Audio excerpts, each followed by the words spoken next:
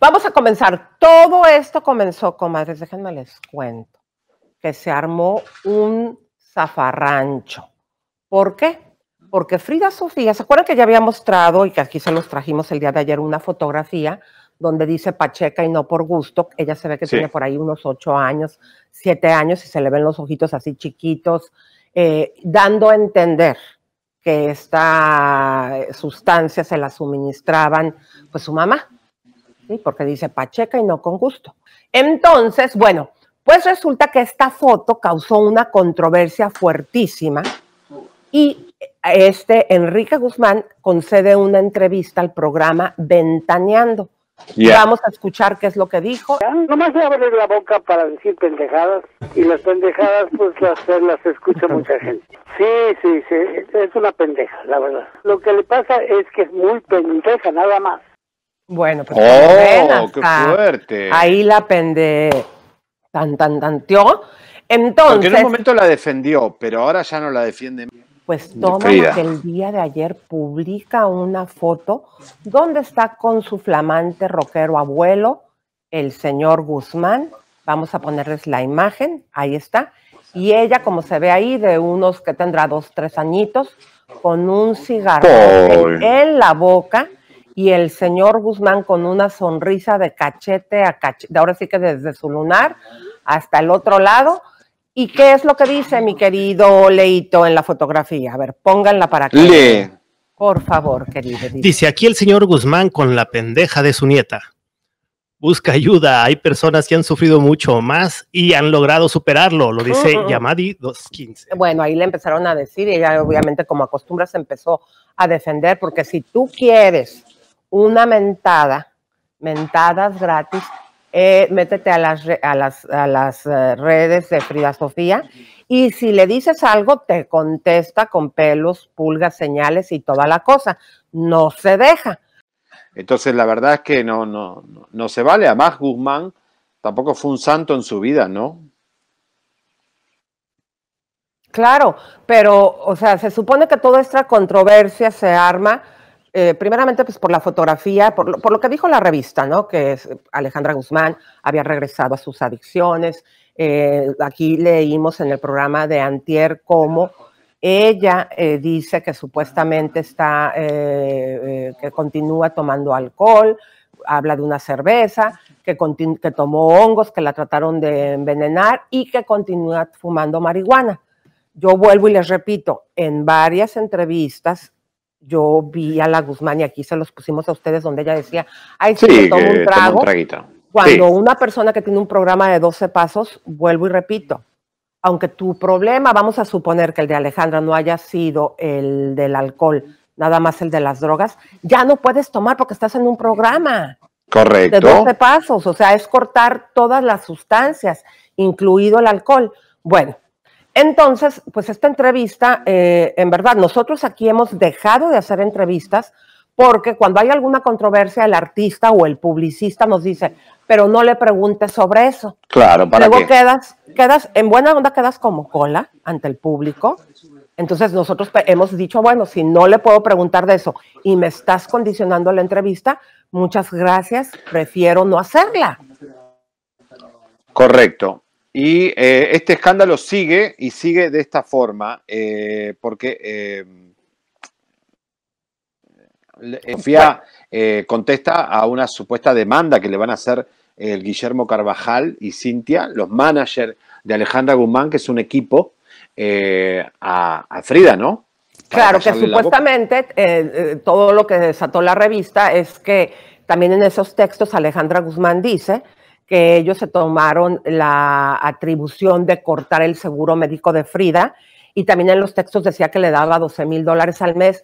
Eh, salió, eh, como lo vieron ustedes ayer, si no vayan ahí a verlo, eh, negando toda esa situación. Entonces, Gustavo Adolfo Infante menciona lo siguiente. Vamos a poner el audio. Adelante. A ver. Mucha atención, por favor, por lo que vamos a decir ahora. La oficina de Alejandra Guzmán, México, va a interponer una demanda por difamación en contra de Frida Sofía. Es este.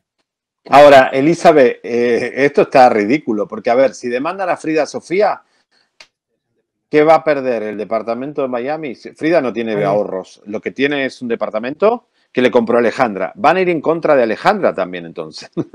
es ridículo que los managers de Alejandra vayan en contra del dinero de Alejandra.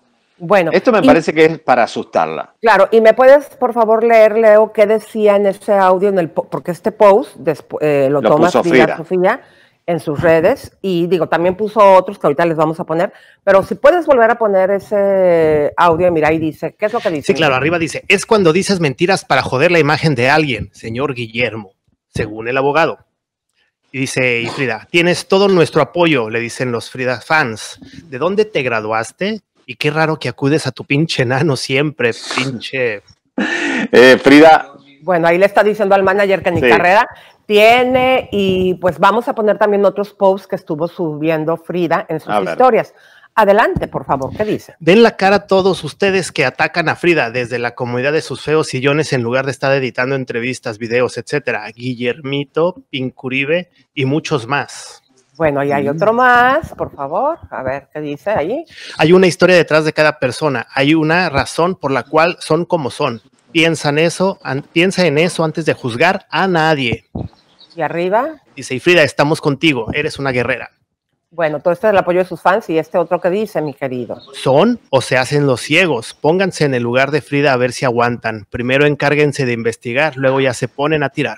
Estos ya son los fans. Estos son los fans. Exactamente, ya defendiéndola. Por ahí no sé si también vas a poner un video de un fan, eh, mi querido eh, Stransky. Adelante. Sí, muchacho. Son hacían tan cobardes. Realmente es muy cobarde esa persona que sabemos que es la que incluso hace páginas para atacarte, nos hackeen las cuentas.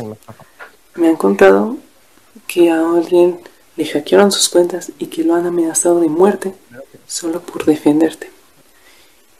Y pues realmente se me hace muy injusto que esas...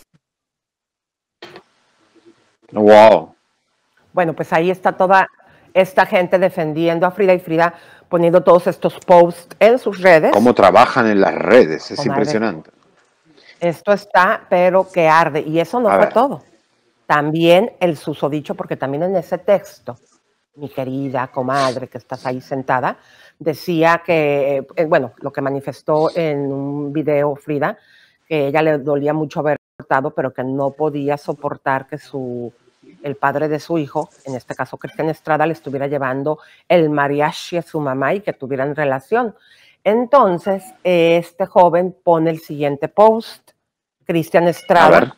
Vamos a ponerlo porque está en negrito. A ver, dale, mi querido Leo. Cuando nadie te cree y se te acabaron los recursos, buscas culpables. Vive y deja vivir.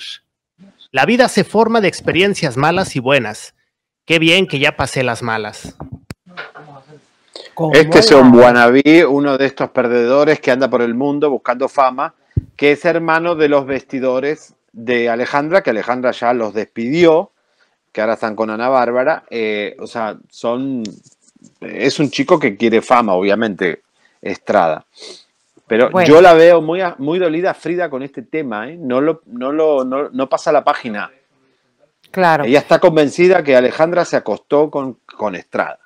Bueno, y Frida parece que nos mandó un audio, ¿no, querido? Eh, ayer que la... a ver, vamos a ponerlo, a ver qué es lo que nos dice Frida. Hola, mis amores de chisme, no like.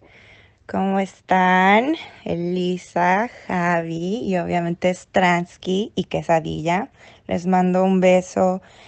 Les quiero agradecer pues que siempre me, me abran las puertas para poder decir mi versión y que crean en mí y que me traten pues como una persona y como amiga más que nada. Los quiero muchísimo y aquí tienen a Sufrida Sofía o Sufrida, como quieran.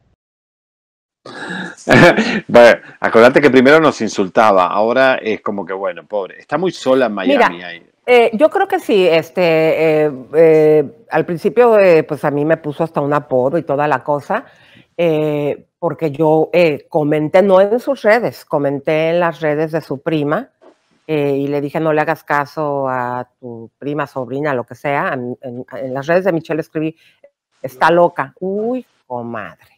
Sí. No te me la andaba acabando, me insultó, me pedorreó, me puso a huebuli, lo subió en sus redes, este, me armó un cuetote como se lo arma a todas las personas que dicen algo de ella y se defiende. Pero eh, yo creo que ahora eh, el, pues digo, la, la amabilidad de ella de mandarnos este mensaje es porque aquí pasamos los dos lados.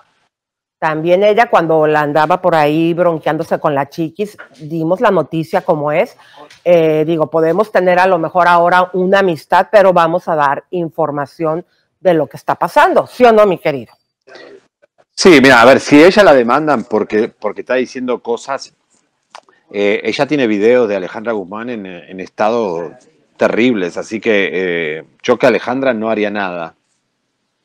Bueno, pues la misma Alejandra ayer salió y dijo en el comunicado que les leímos que efectivamente ella le regaló el departamento, que paga el carro, pero que ya no le manda dinero y que supuestamente era mentira lo de la revista que decían que, que le habían suspendido lo del seguro. Eh, Frida, como ya sabemos, dijo que no tenía seguro. Bueno, esta situación en verdad que está ya muy, muy fuerte. Eh, yo me imagino que Frida no se va a quedar así callada eh, No. de lo que su abuelo le dijo que es una pentututú. Yo me imagino que le va a contestar, ¿no? Yo no creo que vaya demanda, la verdad que esto es para asustarla y Frida no se va a asustar y lo único que pueden sacarle es un departamento que lo compró Alejandra Guzmán, así que es ridículo. Comadritas y compas, ¿les gustó este chisme?